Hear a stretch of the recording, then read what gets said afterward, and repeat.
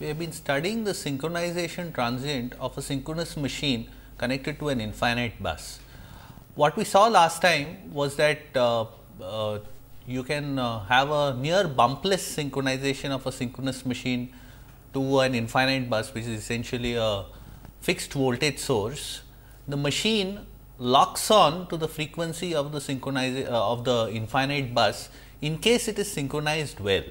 Now, uh, the thing we noticed last time was that if the speed of the machine initially is almost uh, the same as that of the infinite bus and at the instant of uh, you know the interconnection the voltage open circuit voltage of the generator the voltage phasor you can say is uh, practically the same as the infinite bus voltage phasor then you get a kind of a bumpless transfer okay of course, uh, you can't get in perfect uh, transfer without transients, it is uh, practically not possible.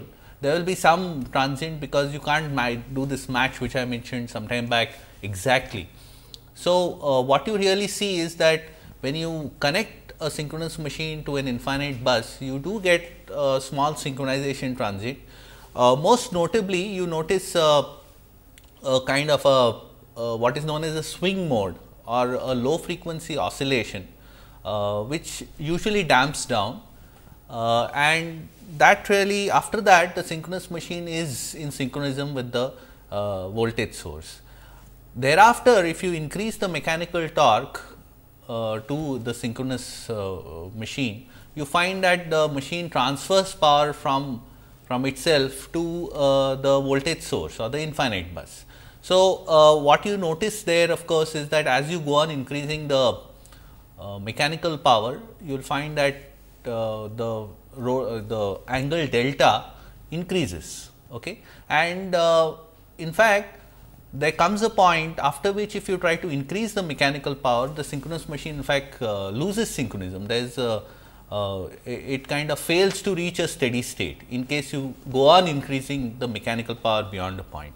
Okay. Of course, the important uh, thing is that uh, we had in fact seen uh, uh precisely such a transient in one of our uh, lectures. In fact, the first lecture I had shown you a, a, small demonstration clip. It will be good to revisit that clip. You can go back to the first lecture and see that clip. That is precisely what we have tried to simulate, uh, try to simulate in the 21st lecture. That is a synchronous machine connected to a infinite bus and therein thereafter we go on increasing the mechanical power to a point at which it loses synchronism. One of the things which we did not do when we increased the mechanical power was uh, or the mechanical torque to the synchronous machine was that we did not uh, increase the field voltage simultaneously. In fact, a synchronous machine tends to lose synchronism very easily in case you try to load it without a concurrent increase in the field voltage. Okay. So, what we will do this in this lecture is uh, we will first of all uh, revisit this uh, earlier transient uh, in which we first give a small step uh, we first synchronize the machine then give a small step in the mechanical power of 0.25 per unit and then we try to increase the mechanical power right up to its rated value of 1 per unit and there uh, we do not increase the field voltage, we will see that it loses synchronism. Thereafter, we will redo this uh, simulation with uh, uh, by increasing the field voltage concurrently that is uh, at the same time uh, as we uh, rather at this we increase the field voltage simultaneously perhaps simultaneously is a better word. We increase the field voltage simultaneously along with the mechanical torque. You will find that under such circumstances the, the generator is able to supply uh, the rated power uh, to the infinite bus. Okay. Now, uh, one small clarification of course, uh, I hope uh, you did not miss it last time was that when we are simulating the uh, equations of a synchronous machine, we are neglecting the stator transients or the stator flux transients. That is, we have replaced d psi d by dt and d psi q by dt uh, by 0. The reason is of course, that the transients associated with uh, these states psi d and psi q are very fast. So, what we have done essentially is replace the differential equations uh, which relate the psi d and psi q fluxes by algebraic equations. One thing you should uh, note here is that an implicit thing is that when I am making this assumption, uh, I am really interested in the slower electromechanical transients. That is why I can do without uh, the psi d and psi q uh, differential equations, replace them in fact by the algebraic equations okay, and still get a reasonably correct result. Okay. Now, uh, you may ask that well why uh, do I do it anyway you can just as well keep the differential equations corresponding to psi d and psi q. The reason why of course, I have done that is if I retain uh, the differential equations in, d psi, uh, in psi d and psi q, you get what is known as a stiff system that is a mixture of fast and uh, slow transients are existing in that system and as a result of which simple numerical integration schemes are likely to misbehave. So, what I have really done is I have made this approximation of neglecting the fast transients, removed in some sense the stiffness of the system and then used uh, Euler method which is the simplest method to simulate the system. Okay. So, that is why I have done this. If, if of course, I had used uh, I had retained the stiffness in the system that is I had retained the d psi d by dt and d psi q by dt terms in the equations. In such a case, you would find that uh, you would need to use a method like trapezoidal rule or backward Euler method.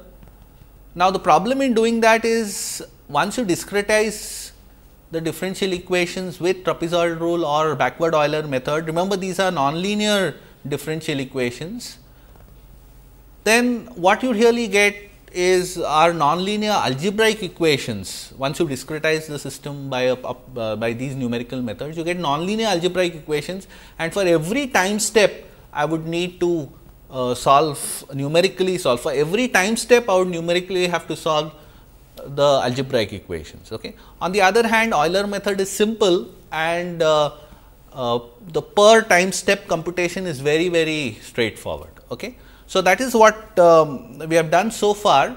Today, uh, I will try to simultaneously increase the field voltage along with the torque increase. Okay? And we can see that in such a case, you can in fact uh, run the synchronous machine uh, uh at rated power. Okay? So, let us just uh, redo the transient we did last time okay, and go ahead and simulate uh, the transient with field voltage increase simultaneously. Okay? So, let us go on to that. So, today's lecture of course, we will be revisiting the transient associated with the synchronization of a synchronous machine. Now, uh, what we will do is of course, like in the previous lectures, we will uh, do a simulation of this system. Okay. So, let me just show you the simulation file here. Okay. This is gen underscore sync is the file. I will be doing a 25 second simulation I will be synchronizing the machine at 0.2 seconds. This of course, the you see the data of the machine.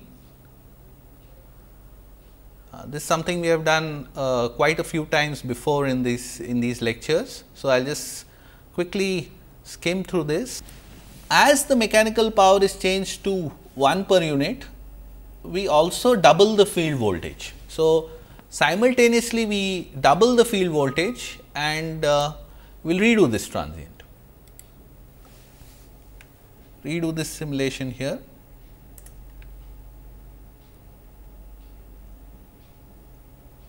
And I plot now the speed. And you notice that in this particular case, the machine regains or rather is still in synchronism. Okay? So, by increasing the field voltage in some sense we have ensured that the machine is able to deliver the rated power okay, and uh, remain in synchronism and operate stably. Okay. Of course, these uh, there is a electromechanical oscillation or a swing which is seen in the speed whenever we uh, give any such disturbance. Now, we can of course, have a look at how delta looks as well. Yeah.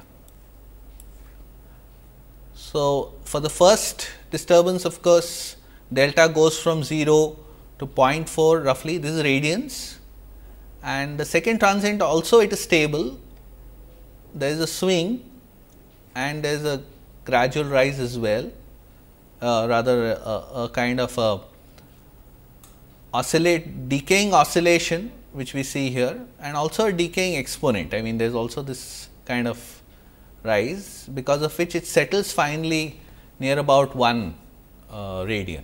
Okay. So, this is basically how the system behaves in case we increase the mechanical power along with a change in the field voltage. If we do not change the field voltage along with the mechanical power, the system can lose synchronism. So, that is one uh, important thing you should remember. In the next, uh, uh, next few lectures, we will go on to talking about excitation systems in the sense that we will try to understand how the field voltage is changed uh, uh, by uh, by a control system or an, a control system and an excitation system. Okay. Field voltage in a synchronous machine changes along with the loading. In fact, we engineer it in such a way that whenever the loading of a synchronous machine changes, the field voltage is also changed. Okay. It is in fact very necessary to do so. Okay. So, this is something you should keep in mind. Now, what we will do next is uh, look at um, another form of analysis. What we will do is uh, do a kind of small signal analysis of a synchronous machine. So far what we have been doing here is in fact looking at the a numerical simulation of the system. The reason why we do a numerical simulation is that the system is non-linear. Now, we can in fact uh, do a linearized analysis around an operating point okay, using eigen analysis, the eigen analysis tool. As we have done before, uh, the only difference here uh, is that since this is nonlinear, we have to first convert the system into a, a, linearized system around an operating point. So, what we will be really doing is since this is a nonlinear system, uh, we cannot infer the nonlinear behavior by eigen analysis that is not possible, but what we can do is if you are at an operating point that is at an equilibrium point, if you give small disturbances you can rewrite the equations in a linear form okay, which is valid only for small disturbances and infer the behavior from the eigenvalues of the resulting linear differential equations. Okay. So, this is what we will uh, do next. At this point, uh, uh, we should look at where are actually the nonlinearities in our equations. Let us have a look.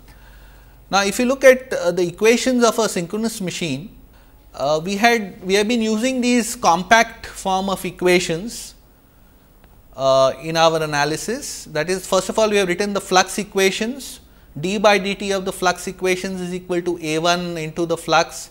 So, this is the state space form of the flux equations. Remember that a 1 is a function of speed. Okay? So, actually although this is written it looks almost as if it is linear a 1 is actually a function of the state of the states. Okay? Speed is a state of the system. Remember that uh, this is written in a kind of a composite form I D I Q are in fact related to all the fluxes by another set of equations. The in fact, the inductance uh, effectively the inductance matrices or the reactance matrices in per unit. Okay? These equations are of course, in per unit form. A 1 uh, looks like this. Okay? It is in fact linear, uh, uh, non-linear because A 1 itself is a function of the states. Okay? So, A 1 into psi involves effectively product terms of speed and flux. So, that is why it is basically a set of nonlinear equations. Okay? So, there is a nonlinearity here. In fact, these are of course, the definitions of A 1, uh, the A 1, B 1, B 2, A 3. Okay.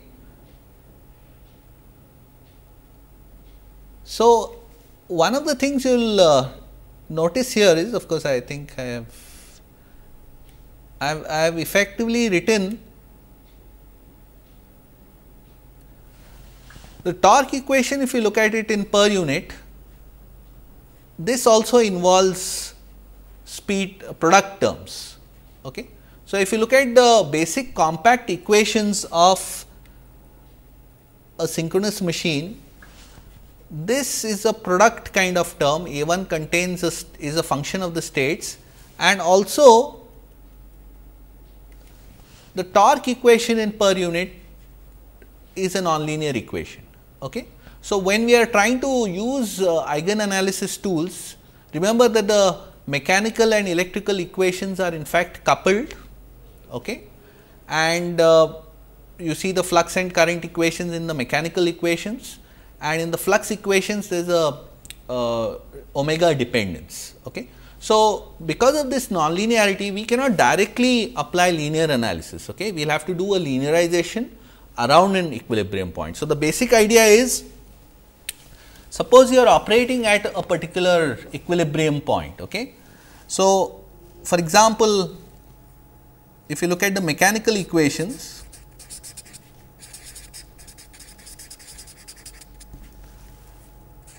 two h by omega b d omega by dt is equal to T m minus psi d i q minus psi q i d. Now, if you look at this, this is a nonlinear equation. Okay. Now, if we are operating at a certain equilibrium point and the equilibrium values of psi d is psi d e, similarly the equilibrium value of psi q psi q e and uh, of course, I q and I d are dependent on the equilibrium values of psi f e in addition to these psi f e, psi g e psi k e and psi h e. Okay. So, these are the equilibrium points. Okay. So, this E here is uh, denoting equilibria. Okay. So, this is the equilibrium value of these states. Okay. So, if you look at you write, rewrite these equations again, if your speed equilibrium speed of a synchronous machine connected to an infinite bus is? Well, if you look at d delta by dt, it is nothing but omega minus omega 0. This is the frequency of the infinite bus. Okay.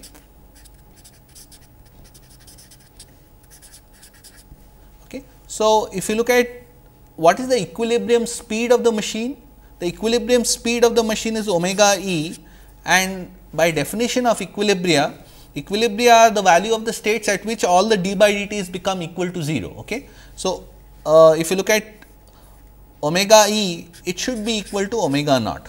Okay. So, the value of omega at equilibrium is omega e, it is equal to omega naught. Okay. So, these are essentially the equilibrium values of the states. Okay. So, equilibria are actually obtained by setting d delta by dt uh, uh, d omega by dt and all the d psi by dt is equal to 0. Okay. Now, um, what are the equilibrium values of what are the actual values of psi d, psi q e, psi f e and so on. What is the equilibrium of value of delta e for example, what is the equilibrium value of delta. So, uh, these are all the states. So, one of the equilibrium value we have of course got, then there are 6 flux states for which we have to get the equilibrium values and delta equilibrium value has to be obtained. Now, remember that uh, we had obtained the expression for the electrical torque. If you recall what is the electrical torque expression?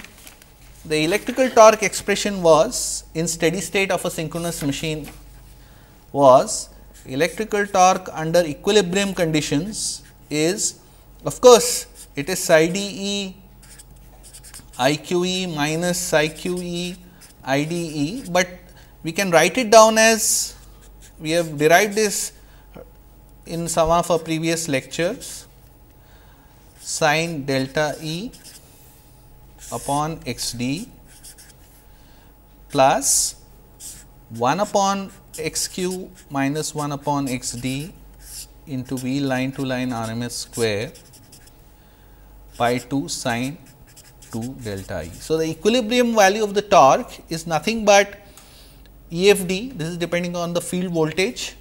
V line to line RMS is the voltage line to line RMS voltage of the voltage source to which the synchronous machine is connected to. Delta E of course, is the equilibrium angle Now, the important thing is that this is this, this if you look at psi d e psi d i q minus psi q i d, this is essentially an equilibrium uh, rather the transient uh, this expression for torque is valid also in transient conditions. Okay. But this remember this expression here which I have written down is only valid during steady state. So, please do not use it for transient conditions. Okay. So, under equilibrium conditions this is true. So, if I set d delta by dt is equal to 0, we, we get the equilibrium value of omega should be equal to omega naught. Also by setting d omega by dt equal to 0, we get T m should be equal to the equilibrium value of this. Okay. Now, if we know what EFD is and what V line to line RMS is, from this we can easily back calculate what the value of delta E is. Okay. So, I know what TEE is Tm. So, if I have given you what the mechanical torque is and what the EFD is, in such a case you should be able to compute delta E. So, first state, second state is computed. Okay. This is the equilibrium values of omega E and delta E. Okay. Thereafter, once you have you know the equilibrium value of omega is omega E, okay. also you have got the equations of the, the differential equations corresponding to the fluxes. So, if you look at them here, I have written them down in compact form here. So, you set this equal to 0, okay. A 1 is a function of the time constants as well as omega, but you know that the equilibrium value of omega is omega e so, you get an equation, so you can evaluate what A 1 is, this is set to 0, A 2 into I d I q, I d I q itself is a function of psi d and psi q, it is a linear function. So, A 2 into A 3 into psi basically because I d I q itself is related by this expression. Thereafter, if you look at B 1 so, B 1 is also a constant matrix. V d and V q in fact, if you look at what I am writing here, V d we have seen before uh, by the definition of the voltage source, uh, we, have, we wrote down the time uh, the, the, volt, the voltage of the infinite bus in terms of V a, V b, V c. As per that definition, V d will come out to be minus V line to line RMS into sine delta E and V q comes out to be V line to line RMS into cos delta E. So, this is of course uh, obtained, we have obtained this before in our course. Remember that the rotor position is nothing but omega naught t plus delta Okay. So, this is the definition of the rotor position. Omega naught is the speed of the infinite bus okay. and because of that and the definition of VAN, VBN and VCN the phase to neutral voltages of the infinite bus uh, we obtain VD and VQ in this form. Okay. So, what I wish to stay uh, what I wish to say here is that First of all, we have got the equilibrium value of the speed, then we have got the equilibrium value of delta E. From equilibrium value of speed and delta E, we can from the flux equations which are shown here, by setting the right hand side uh, sorry the left hand side here equal to 0, okay, that is put setting d by dt equal to 0, obtain the equilibrium values of psi d, psi q, psi f, psi h, psi g and psi k. So, this is basically what uh, is involved in getting first the equilibrium values. Once you have got the equilibrium values, in order to do a small signal or a small disturbance ana analysis around an equilibrium point, what we really need to do is reformulate the equations or linearize the equations which is suitable for such small disturbance analysis. So, for example, we have got d by dt of the flux okay, is equal to A 1 into the flux and so on. Okay. Now, what we do is we assume that the fluxes we are considering only small disturbances from the equilibrium. So, we will assume that psi d e plus delta psi. Okay. So, this is the equilibrium value of the flux and this is the deviation from it. So, we can reformulate the differential equations in terms of only the deviations around the equilibrium. Now, if these deviations are small, one can do a procedure called linearization. Okay. So, I will just show you the linearization procedure for a simple case 2 h we just look at this equation you can actually linearize every equation equal to T m minus psi d i q minus psi q i d. This is of course, a nonlinear term. Okay. Now, we assume omega is equal to omega equilibrium plus the deviation from the equilibrium. Okay. This is a known quantity. Okay. So, we can reformulate these equations, you can write this as 2 h by omega b d of omega e plus delta omega, omega e is a constant, it is the equilibrium value of the speed. So, what we will do is is equal to okay, T m, we will assume that T m is a constant minus psi d i q minus psi q i d. Now, psi d i q minus psi q i d in fact can be written down as so it is psi e psi d e plus delta psi d okay, into i q e plus delta i q minus psi q e plus delta psi q into I d e plus delta I d.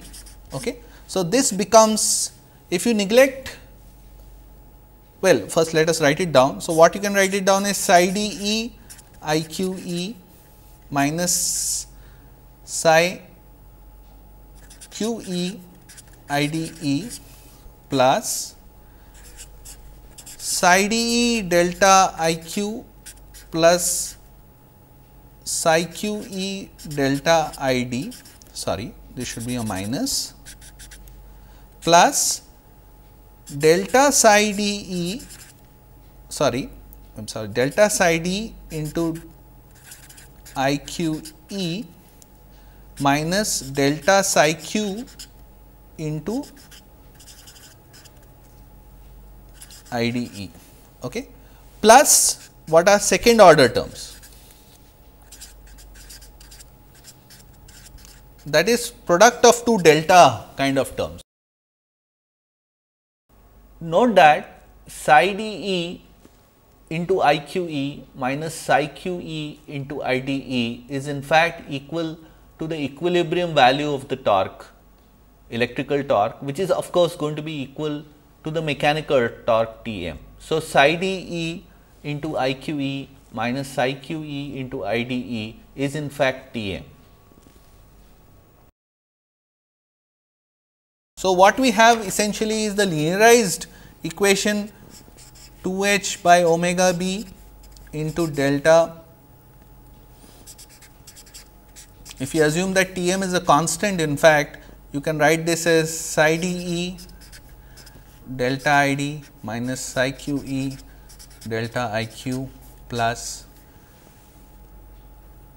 delta psi d IDE minus delta psi q IQE. Okay.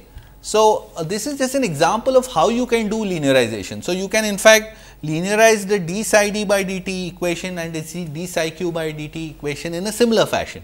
So, what you eventually get is uh, you know you have to couple of course, the mechanical and electrical equations the flux equations are coupled. So, finally, what you will get is going to be delta x in the linearized states assuming of course delta T m is equal to 0 and delta E f d is equal to 0. So, we will be assuming the inputs are constant we will be only giving uh, changes in delta x that is the giving the initial condi or initial disturbances to the states. Okay.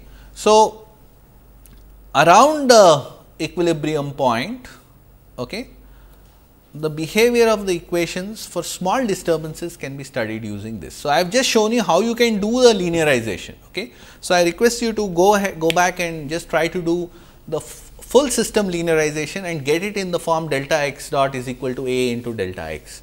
The properties of the transients for small disturbances around the equilibrium can be got just by analyzing the eigen properties that is the eigenvalues and eigenvectors of the resulting state matrix, the A matrix. Of course, A now is dependent on the equilibrium point, because it really has terms like psi d E and so on, okay, but is a constant. For that equilibrium point, it is a constant, okay, but it is a function of the value of the states at the equilibrium point. So, one of the things you should remember is that a nonlinear system which is linearized and then we uh, if we do non-linearized uh, rather linearized analysis on it eigen analysis on on it what we will see is that the eigenvalues which we get for different equilibrium points are going to be different. So, the transient behavior around different equilibrium points in fact is going to be different okay it is not going to be the same.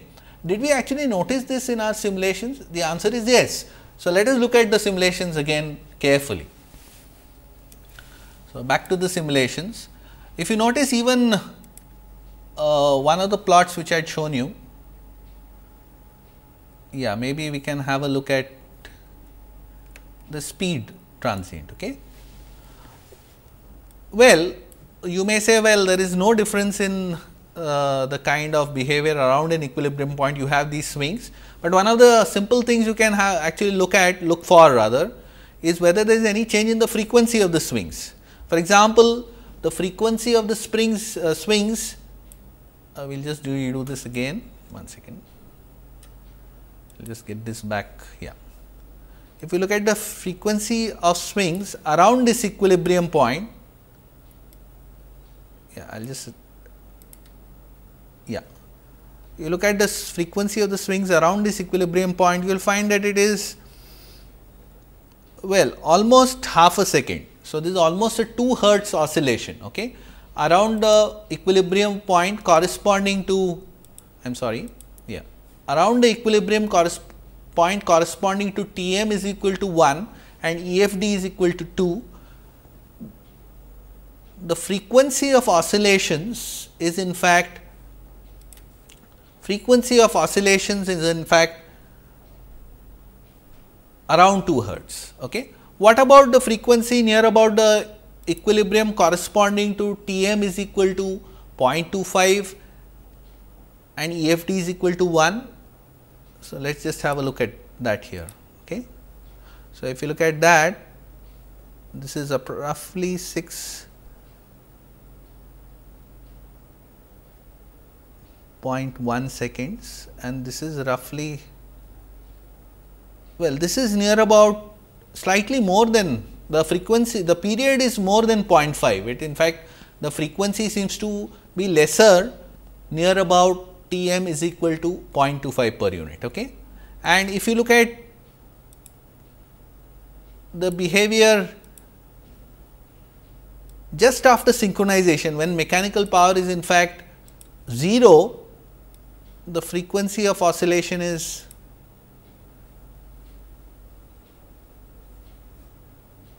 is again roughly uh, 0.7. Yeah. So, with T m is equal to 0, the frequency is slightly uh, uh, lesser, in fact, the period is larger and with uh, larger values of, of T m with of course, a simultaneous increase of uh, E f d, we see that the frequency in fact slightly increases. In fact, it is higher here compared to here. So, as the operating point changes, uh, we get a change in frequency. That is not surprising because the eigenvalues change because the A matrix whose eigenvalues we are computing is a function of the equilibrium values of the states okay, which are obtained after linearization. So, that is basically why this uh, happens. In fact, one more striking thing which uh, you can observe from this plot in fact, all the plots reveal a great deal of information. You will notice that the rate of decay of this oscillation is much much slower compared to the decay of oscillation here. In no time you will find that this reaches equilibrium, whereas this takes several seconds to reach an equilibrium. So, what one can expect after doing a linear analysis, an eigenvalue analysis, we will do that shortly of course, is that we can uh, infer that whether this frequency is going to change, uh, whether the damping is going to change and so on from that analysis itself. Okay. So, uh, let us just verify that by actually writing down an uh, analysis eigenvalue analysis program. So, as I mentioned some time back of course, it involves some some uh, deal of effort in the sense that you will have to linearize the set of equations, form the A matrices, okay, uh, the A matrix of the system, okay, which is a function of the equilibrium point. Okay. So, this is something you, you will have to do. Now, uh, one of the uh, uh one of the points which I need to of course clarify at this point, uh, the A matrix which you are going to get here uh, would be initially we will include the d psi d by dt and d psi q by dt transient. We will not convert the d psi d by dt and d psi q by dt differential equations into algebraic equations. We will first consider all of them together. So, what we are really looking at is a model in which you are going to have this set of equations. Okay. So, this set of equations is what we are going to consider with the differential equations in psi d and psi q retained. We are not neglecting or replacing d psi d and d psi q by dt equal to 0. But we can always do that.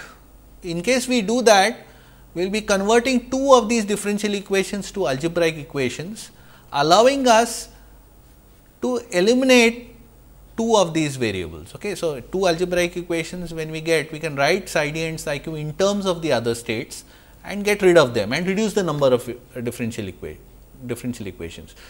We in fact did this uh, when we were doing the numerical simulation in order to remove the stiffness. When you are doing an eigen analysis, there is no compelling reason to remove the stiffness of the system, okay? removing the, uh, the a situation where they are fast and slow transients. That is what I mean when I say removing stiffness. When you are doing eigen analysis, there is no compelling reason, whereas for simulation, if you want to use simple numerical integration methods, then you have to remove the uh, the stiffness in the equations. Okay?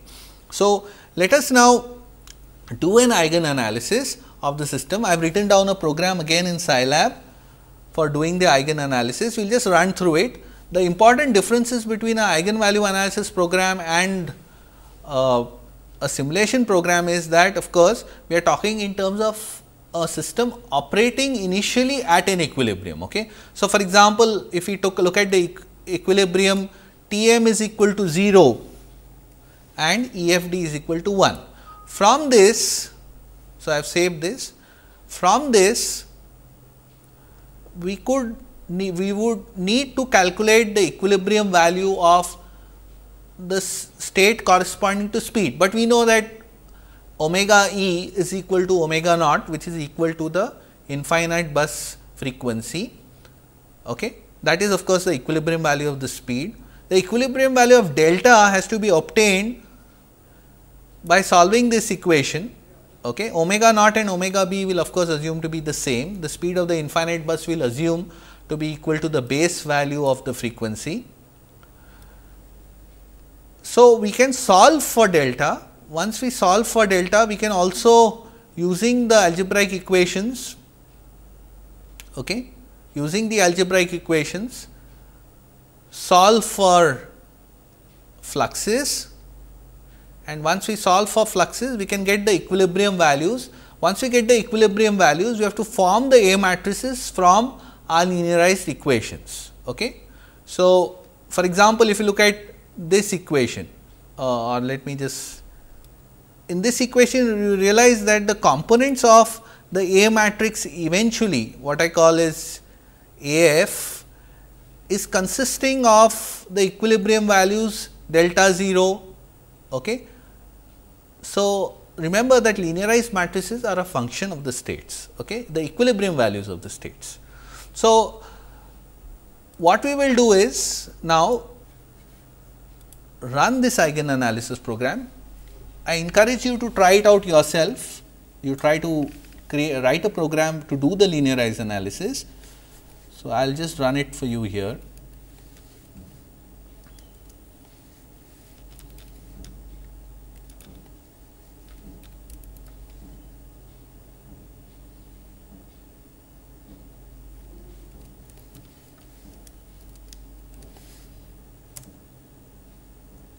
Okay, just one sec.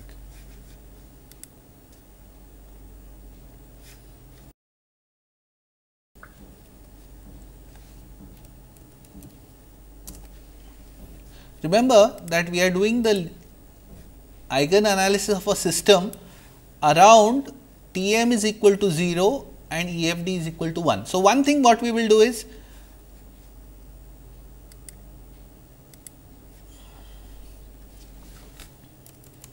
what is the equilibrium value of delta 0? The answer is 0. Of course, if mechanical power is 0, T m is equal to 0, you can directly infer from the steady state torque equation that delta 0 is equal to 0. Okay. Now, if I find out the eigenvalues of the system, okay, the eigenvalues of a system linearized around the equilibrium point corresponding to T m is equal to 0, what we find is okay, what we find is the eigenvalues are as seen here. Okay. What we see is you have got these two eigenvalues which are very large in magnitude. Okay. They are almost 314 radians per second as discussed in the short circuit analysis of, of a synchronous machine. These are actually corresponding to the d psi d by you know they are very much associated with the psi d and psi q states. Okay. You will find that these two sort of new eigenvalues are coming because of the inclusion of the electromechanical equations. The mechanical equations contribute the equations uh, corresponding to omega and delta. Okay. So, basically you get these two extra eigenvalues compared to the eigenvalue analysis of a short circuited synchronous machine. Okay. These two extra eigenvalues in fact indicate that you should be having a damped oscillation of frequency 9.4 radians per second. Okay. So, 9.4 radians per second corresponds to divided by 2 pi corresponds to 1.49 hertz. Okay. So, 1 upon 1.49 hertz is in fact 0.67 seconds, which is the period of the oscillation corresponding to T m is equal to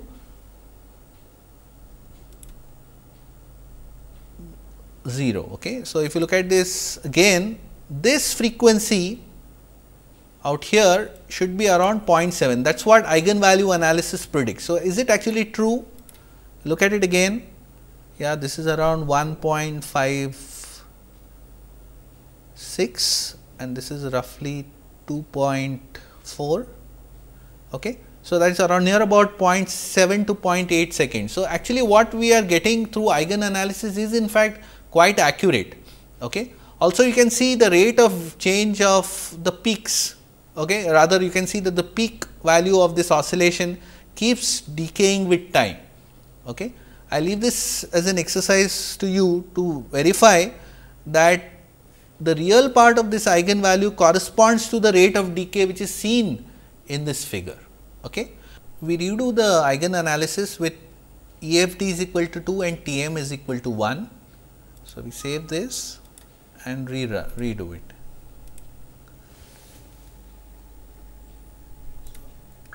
Oops. So, what we need to do is of course, yeah. So, if you take out the eigen values, you will find that the eigen values, the most striking thing you will notice is that the frequency of oscillations has increased. The damping has come down. This real part negative real part magnitude has come down. So, what one uh, one can get from the simulation essentially is uh, what one should see in the simulation is that the damping is this of course, the plot of delta. You see that the damping is much faster near the T m is equal to 0 case as compared to the damping near T m is equal to 1. So, this is the plot of delta remember. The frequency of oscillations here is higher than the frequency of oscillations here. Okay. So, of course, uh, we can also see this in omega the, the, the simulation of omega. So, I will just redo this and plot and plot omega. So, I will just remove this and plot omega.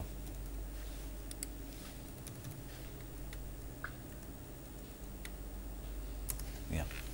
So, the same thing is of course seen in omega. Remember the same modes are being seen in different all the diff, all almost all the states. So, what you see in delta the same modal characteristics are seen in omega. So, you see that the frequency at different equilibria are different and the damping also is, is different. I mean this takes longer to damp out compared to the damping here. Okay. So, the real part of the eigenvalue near T m is equal to 0 can be expected to be larger than the real part negative real part of course, the magnitude is lower in this. This is actually true. Okay. So, this is uh, basically a good correlation between eigen analysis and the simulation. Okay. So, this is what we see here in fact, if you look at the value of delta 0 here from the eigen analysis sorry uh, the computation of I will have to redo the eigen analysis program. Okay. So, the value of delta equilibrium value of delta uh, when T m is equal to 0 and E f d is equal to 1 is 1.09 radian. So, actually we can convert this radian value to a degree value in fact it is 62 degrees. Okay. So, uh, in fact if you look at the simulation we will redo the simulation and uh, plot the value of delta. Okay. So, what we will do is this is of course omega we will plot the value of delta with T m is equal to. So, if you look at the simulation the simulation also if you look at the value of delta which to which this settles down is also near 1.09. So, what you are really seeing is a good correlation between the numerical simulation as well as the eigen analysis of a system linearized around an equilibrium point. Okay. So, this is an interesting study in which we have actually done the linear analysis also of the synchronization transient. So, uh, I hope you got a hang of what was what we were trying to do. Uh, we could really uh, it is very interesting you know uh, when you do a simulation you get a certain time response plot, but uh, you feel a great deal of joy when you are able to correlate it with uh, uh, eigenvalue analysis which one uh, many of us feel that is a more analytically and it gives better insight. Okay.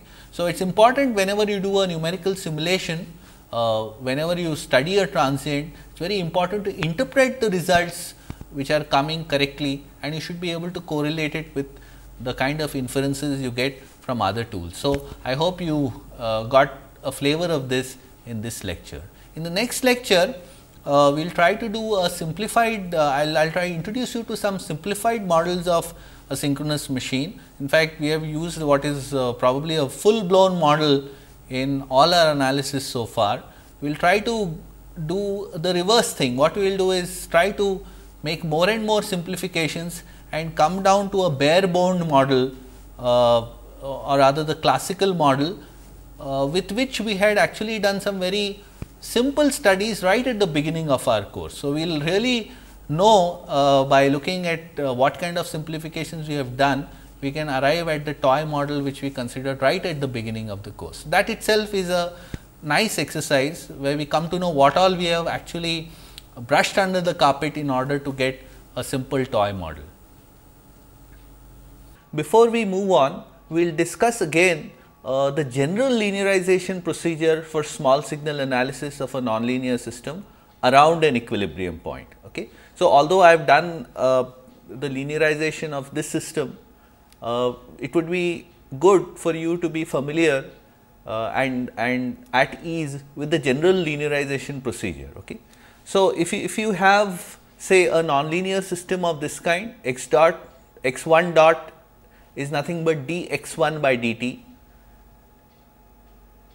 and you have got n variables of this kind, then the general nonlinear equations are given as shown in the screen on the screen. Now, the equilibrium points for this system are obtained by setting uh, x 1 dot, x 2 dot and so on equal to 0. Okay. Of course, uh, in this uh, nonlinear system u denotes the inputs. Okay. So, if I have given the inputs that is u 1 0, u m 0 are specified, okay. those are the nominal inputs which are given for this equilibrium point, then the equilibrium values of the states may be obtained from these algebraic equations. These again are nonlinear algebraic equations. The equilibrium points are obtained by solving these nonlinear algebraic equations. Remember that more than one set of equilibrium states may satisfy the above equation. So, you have may have more than one set. Okay. Now, in the general linearization procedure, we will try to uh, we will choose the set which is of interest. I mean, uh, you are really going to do small signal analysis around an equilibrium point. So, you have to decide the equilibrium point. So, choose the set which is of interest. After that, you need to take each differential equation, each nonlinear differential equation and linearize it. Okay. So, what uh, this involves, I mean uh, what, what eventually you, you need to do is obtain the partial derivatives of f 1 with respect to the states x 1, x 2 to x n as well as the inputs u 1 to u m. Okay. Now, remember that these partial derivatives are evaluated using the equilibrium values of the states. So, these partial derivatives are essentially constants. Okay. Remember of course, that delta x 1 here is a small disturbance from equilibrium. Okay. So, delta x 1 is equal to x 1 minus x 1 e okay, or the deviation from the equilibrium. Similarly, delta u is equal to u 1 minus u 1 0. Okay. u 1 0 is the nominal input. Okay. So, this is what you get as a linearized equation. Okay. Now, uh, in my previous uh, development, we, we just uh, for example, linearized psi d i q minus psi q i d. You may say that well this looks different from that. No, actually if you take out the partial derivatives of the of the functions psi d i q minus psi q i d, okay, and plug in the equilibrium values, you are going to get exactly the same linear model as we got some time back. Okay. So, in fact, this is a more general and direct uh, you know representation of what we will get if we apply this linearization with delta x and delta u very small. Okay. So, this is how you would normally linearize a, a set of nonlinear differential equations around an equilibrium point. Okay. So, this uh, fact will become clear uh, shortly. Remember of course, that you have to linearize each differential equation right from x 1 to x n and uh, therefore, eventually you will get in fact a Jacobian matrix. Okay. So, you know you do this for x 1, but you can also do it for the other x x2, x3 to xn and eventually you will get this delta x is equal to a into delta x plus b into delta u. Okay. This a and b of course are these matrices. Okay. Note that these are effectively constant matrices because these partial derivatives are evaluated at the equilibrium point. So, equilibrium point essentially is the denotes the values of the states. Okay. So, you have to plug in the values of the states. Okay. Now, this will become clear if you consider this example x 1 dot is equal to x 2 and x 2 dot is equal to u minus sine x 1. Okay. So, this is a nonlinear set of equations. The nonlinearity obviously is because of the sine term. Okay. So, the first step in doing this is find the equilibrium points. For the nominal input 0.5, the equilibrium point is sine inverse 0.5 or sine inverse half which is 30 degrees and uh, x 2 e is equal to 0. So, x 1 e is in fact 30 degrees. Uh, this is of course, the equilibrium points are not unique. For example, x 1 e could also be pi minus uh, that is 180 minus 30 degrees. Okay? That is also an equilibrium point. So, remember that there is in the nonlinear systems there may be more than one equilibrium point. Let us say the equilibrium point corresponding to sine inverse uh, sine inverse 0.5 is equal to 30 degrees and x 2 e is equal to 0 is the equilibrium point of our interest. Okay. So, the equilibrium point of our interest is 30 degrees and 0. Let us say, suppose this is our equilibrium point of interest. So, you can easily obtain the small signal model. Okay. The small signal model is essentially a linear model around this equilibrium point. Okay. So, this is eventually the small signal model of the system.